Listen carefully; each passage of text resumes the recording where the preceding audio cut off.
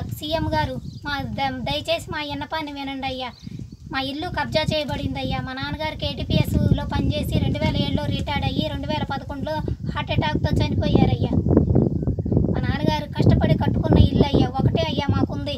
మా అమ్మ తమ్ముడు చెల్లి ముగ్గురు మాత్రం అందుట్లో ఉంటున్నారయ్యా. నా పెద్ద చెల్లి భూ కబ్జా రాయుళ్ళైన కొల్లు రాము యాదగిరి రెడ్డి అనే వ్యక్తులతోటి కలిసి మమ్మల్ని ఇంట్లో ఉండనీయకుండా చేయటం కోసం మమ్మల్ని ఈ రకంగా టార్చర్ పెడుతుందయ్యా. తొమ్మిది సంవత్సరాల నుంచి మేము బాధని ఎన్ని రకాలుగా న్యాయ న్యాయస్థానం తరపు నుంచి పోరాడినా కూడా మాకు ఎటువంటి న్యాయం జరగలేదయ్యా. మా నాన్నగారు చనిపోయిన రోజున అంపురోలు రామప్రసాదరావు గారు పాతిక వేల రూపాయలు ఇవ్వాలని చెప్పి గొడవ చేశారయ్యా. ఇంటికాడికి వచ్చి లేదా బాడీ కదలనివ్వను లేదా తెల్ల కాగితాల మీద సంతకాలు అందరినీ పెట్టమన్నారయ్యా.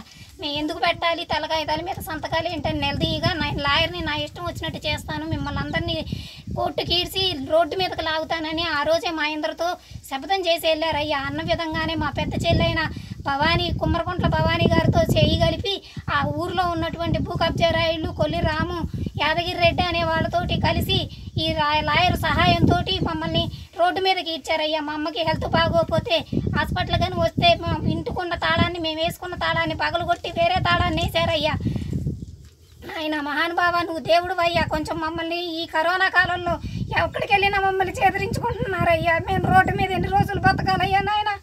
మాకు ఏరే దిక్కు ఎవరు లేరయ్యా. ఉన్న ఇల్లు అదొక్కటేనయ్యా. ఇల్లు కూడా మమ్మల్ని ఖాళీ చేసి వెళ్ళిపోతే